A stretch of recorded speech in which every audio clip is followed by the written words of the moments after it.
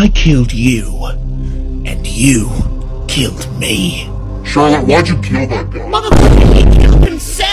Meanwhile, Aku membunuhmu dan kau juga telah membunuhku.